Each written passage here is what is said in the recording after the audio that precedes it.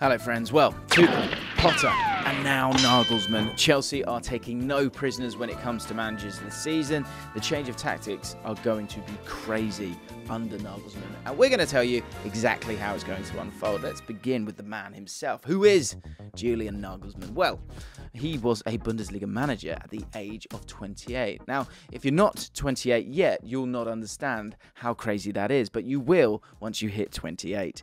Not only did he get the gig at 28, he has also been immensely successful despite his age. Nagelsmann is the youngest ever manager to reach the Champions League semi finals at only 33.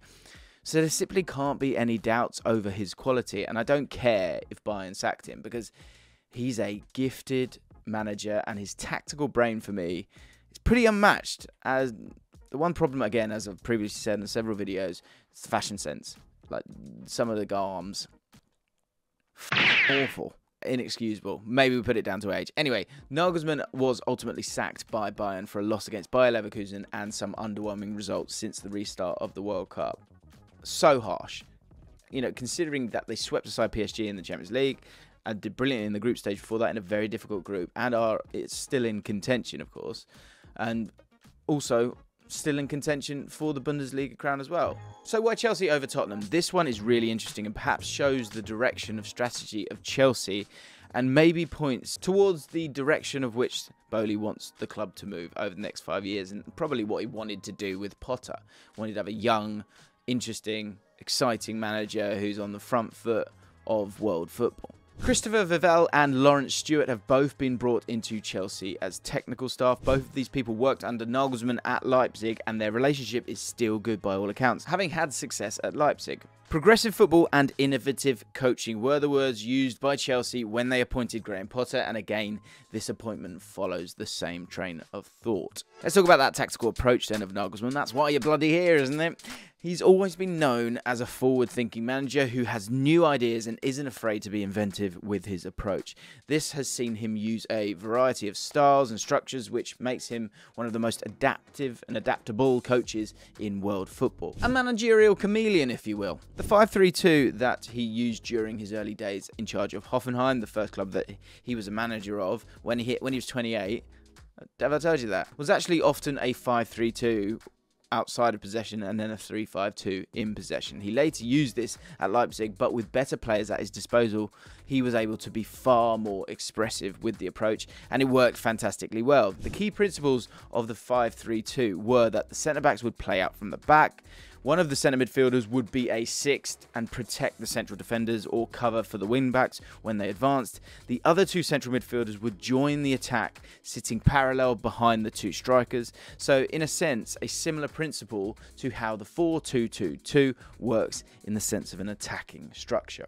At Leipzig, Nagelsmann then experimented with a 4 2 3 1 and had a lot of success with it. He later took this to Bayern but changed the structure just a little bit. The key principles of the 4 2 3 1 at Leipzig were, again, playing out from the back, still a huge, huge focus for them. The fullback splitting in the opening of build up play, providing width. Angelino, of course, the left back, he would have that license to go forward, whilst uh, Mukiele on the right would tuck in to form a back three.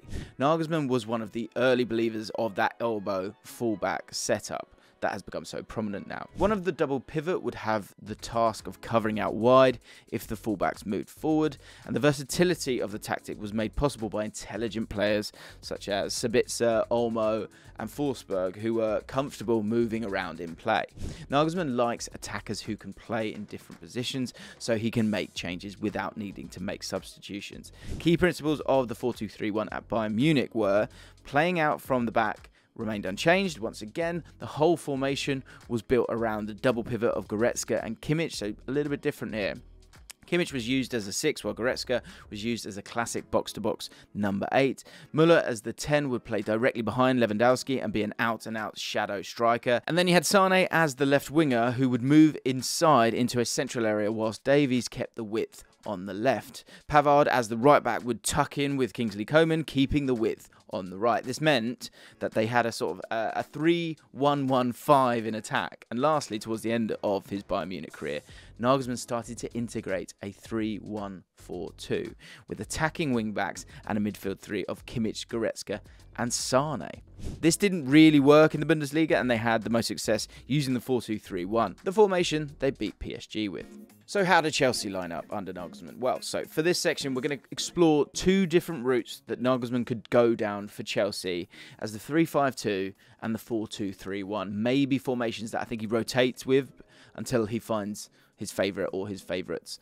Let's start with the 3-5-2. The 3-5-2 would probably look something like this, given who is fit for Chelsea between now and the end of the season. The back three probably picks itself, with maybe Badiashile coming in for Cucurella. Personally, I believe Badiashile is a better defender in this system than Cucurella, but from a ball progression perspective, this is what I think Chelsea would go for. And Cucurella, although his ball progression hasn't always been that great, he's been very cautious. I think with a bit more confidence, he can be that player and be a better player.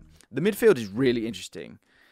Kante makes the most sense at the base of the midfield, given his athleticism. I know we've not seen that; it's been the other way around for a long time. But his ability to cover in all areas of the pitch, to read the game, he's possibly the best fit there right now. But Nagelsmann does like his six to be extremely technical. So I think we're going to have to see how this one goes. I think he might go with the easy option, which would be to play Enzo there and he becomes that Kimmich esque player. But with his ability to create, Nagelsmann may want him that slightly bit further forward up the pitch. I think a split striker partnership of João Felix and Havertz is probably the most likely outcome given Nagelsmann's history. Again, sort of struggling with strikers when it comes to Chelsea. And again, Broja could have been a good option, but Potter could have told you that. This season at Bayern, he did something similar with Mane and Muller as split strikers. Felix has done well for Chelsea in central position so far, so this role I think suits him well in my opinion. Whereas for Havertz, he has the qualities to excel in this role, similarly to how Muller did it. But I think he just requires the coaching to be able to do it. So if not, maybe Sterling is a player that Nagelsmann would consider. Sterling has played in the advanced forward role for Chelsea this season and was an excellent outlet in behind. The other options for this is playing Enzo at the base of the midfield and maybe having Mount as one of the eights. You've got Chukwuemeka is also a player I believe that may do really well as one of those eights, and we haven't seen enough of him. Conor Gallagher too is another option for them. I think energy is essential, but so is tactical intelligence. So Nagelsmann will need to find out who his preferred players are when it comes to those areas. Moving on to the 4 2 3 1. So, to describe how the 4 2 3 1 works, the easiest way is to show you how it looks on paper and then show you again as to how it actually looks in the game. So, on paper, and I know the game's not played on paper, Jim. No, I know that.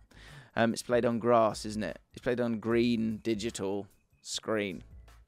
So on green digital screen, it would look like this. You'd have a back four of James Fofana, Koulibaly, and Chilwell would probably be Nagelsmann's go-to if he came in today with who is fit. Enzo and Kante would line up as a double pivot in theory with a front four of João Felix, Madueke, Sterling, and Havertz up top. In play, though, it would look like this. Bayern, Nagelsmann often liked for his side to look something like this when in possession. Pavard often started as a right back and defended like one, but once they had the ball, he'd take a role on the inside and form a back three. Reece James is someone that could do this and has done it in the past. Enzo would have the role of Goretzka in being the link man at the base of the attack. The reason I've included Madueke is because he has a one-on-one take-on ability and has the ability to hold width in a similar way that Kingsley Coman did at Bayern Munich. He's one of the only natural pacey right wingers at Chelsea and may have a good shot at starting if Nagelsmann chooses this 4 2 3 1. In the system, I think you start Sterling on the left, but in possession, move inside and operate as an inside forward, with João Felix drifting to the other side to do the same thing. The thing behind this is to overload central areas while still having options out wide in Chilwell. The important thing about this formation is the diamond that it offers. In the 352, there's a similar thing, but it's more of a square. But the overall idea behind it is having a zone of control around zone 14 and having options laterally around the opponent's defensive midfielder. This makes playing against a single pivot very effective for Nagelsmann's sides and provides a lot of options around zone 14 for his teams. So if it was me, I'd go with the 4-2-3-1 when it comes to how Nagelsmann plays. But you might disagree. Let me know in the comments down below. If you want to support the channel, hit the like button and subscribe. And I'll see you soon. This screenshot shows one of a few times where Chelsea were able to do this. The next screenshot is representative of how Chelsea were on the day. Creating a total of 2.1 xg, 16 xg, and not scoring can often seem like a team that were unlucky, but I think this screenshot is an example of how poor the finishing was and how out of sync, I think that's a good phrase to use when it comes to Chelsea, that in particular Mudryk is at the moment.